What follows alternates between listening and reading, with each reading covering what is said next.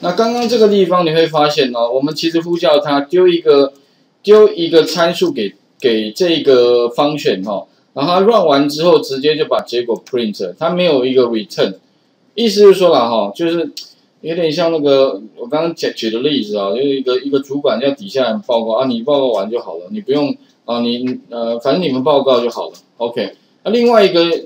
有回传值，意思说。哎，你们把那个结果哈，你们把那个报告做做简报做好之后，你拿来给我，然后我来报告。OK，一般很多时候是那个哈，上上面老板一定是什么叫底下做好给他，他去报告。OK，哎，又就是意思就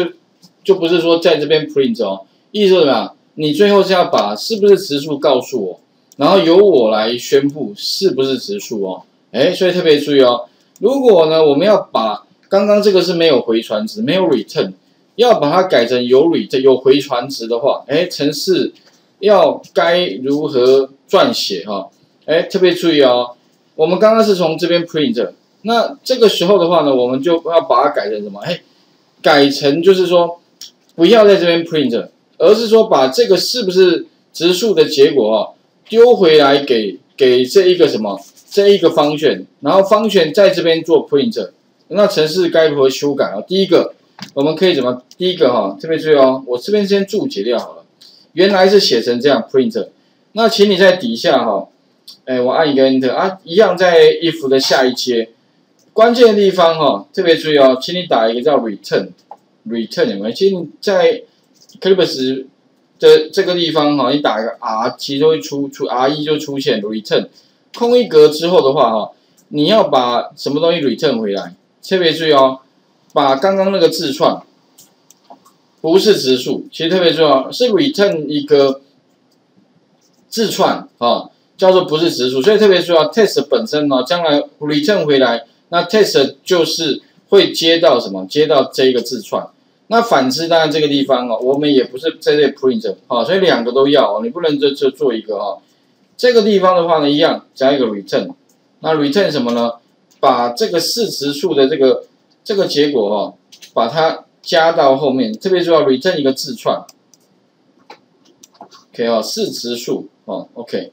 那谁去接？怎么接啊？特别注意哦，刚刚是呃没有这个 return，所以呢直接这样写。可是问题哦，特别注意哦，如果你现在哦，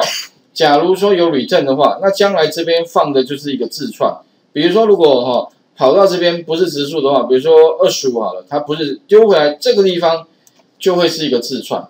哎，那是字串的话呢，你如果没有一个动作 print 的话，它是不会输出的，而是只是就是一个变数在这里，就没有任何动作。所以啊，如果你将来哦希望把 return 回来的东西再 print 出来的话，啊，特别注意啊，请你在刚刚的这个 test 前面哈多加一个动作叫 print。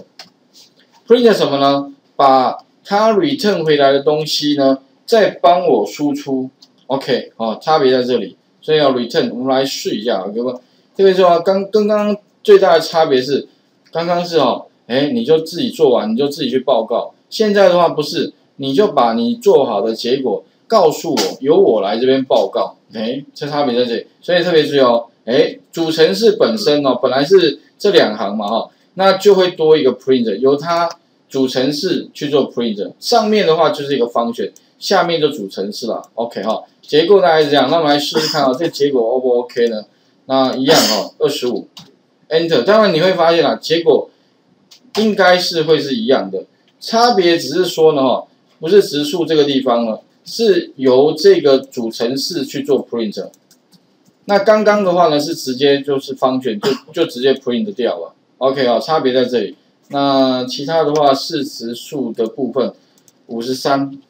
啊，一样嘛哈，这个五十三丢过去给他，哦，他跑到这边四值数，那就把四值数里正给他，所以从这边接收到之后呢，再把它 print 出四值数，OK，哦，大概是这样子，所以以后的话呢，哈，城市里面当然没有必要了啊，没事，当然你说的像这个地方哦，把它改成方选，反而。让城市稍微变复杂，可是将来会有蛮多地方哦，就是一段城市会很多的地方，很多的城市都会共用到这一段城市的话，哎，那你就有必要怎么样把它写成方选了。OK 哈，所以这部分请各位试试看哦，有 return 的部分，那画面呢现在还给各位试一下哈。那前面刚刚那个方法是没有回传值，这个方法呢是有回传值，有回传值你必须接到之后的话，外面呢再去做输出。OK，所以特别注意哦，好，刚刚是没有回传值，这边是有回传值。那如果你们之前有学过 VBA 的话啦，这个比较刚刚那个写法比较像 sub，这个写法比较像 VBA 的 function。OK 哦，所以如果你们有写过其他的程式的话哦，大家可以类比一下。哦啊，只是说 VBA 里面哈，它如果没有回传值哦，它不叫 function，它叫 sub。好啊，在 Python 是反正两个都叫 function，只是说它可以借由有没有 return。啊，有 return 的，那就有回传的；没有 return 的，那就是没有回传，就大概是差别在这边了。OK 哦，所以请各位特别注意一下，function 的呃两种操作的方式。OK 哈，所以未来如果你遇到说有需要共用程式的地方，哦，哎，你就记得哦，要把它懂得会要写成这样的一个方式，要不然就是说呢，哈，以后。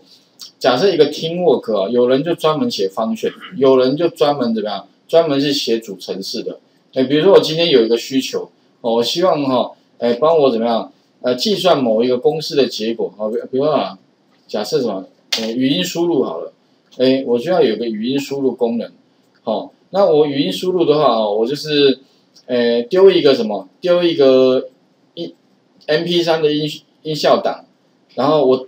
丢给你好了。然后你 return 给我就是那个 MP3 里面哦有人声的地方，你 return 一个字串给我，自动帮我怎么样把那个什么了，把 MP3 里面人讲话的声音自动转成字串，return 回来，所以这个就有个 return 有没有？你传参数是传什么？传一个 MP3 的档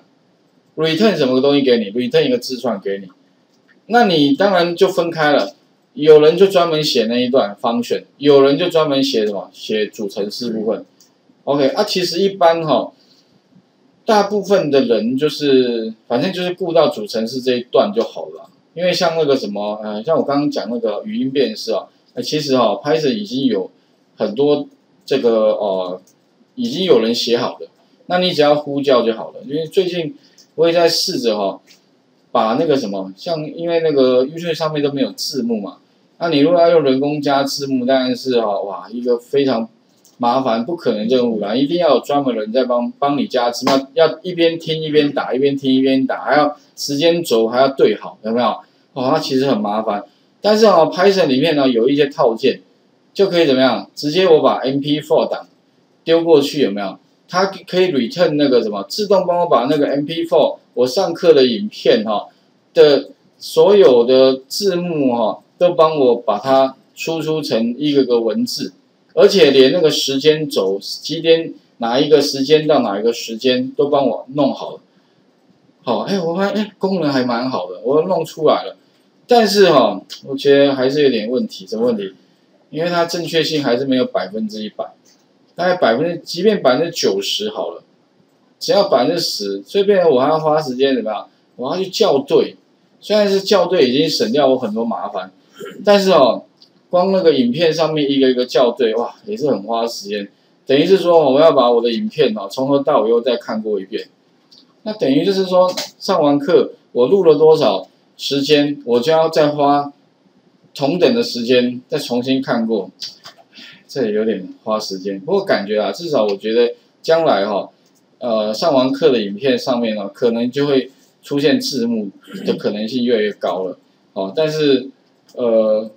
应该理论上也许我可能会示范的做个几个吧，哈，先玩玩看，哈，测试一下，以后看看能不能再看看有没有那种呃，Python 里面有没有套件哦，直接就是什么，除了语音辨识还有没有校对的。有没有自动帮帮我校对一下里面，呃，程就是那个呃错误的部分，或者是说呢哈，可以假设我校对过，可不可以帮我学习啊？用 machine learning 啊，自动帮我记得可能他曾经做过校对的部分，然后以后呢出来的那个结果就越来越正确。OK，哎，如果可以的话，哇，那当然是一个很很棒的一件事情。以后的话上字幕就不是什么很很很麻烦，是说你要专门找一个人帮忙帮你听，然后帮你打，哦，还要帮你上那个字幕的位置，哎，其实很花时间力气的哈。OK，哈，所以这部分的话呢，跟各位说明一下哈。那当然不止这些需求啦，很多很多的需求哦，有没有办法呢？把它啊用这种方选的形态哈，把它城城市给给给这个这个让城市更更便于使用哦。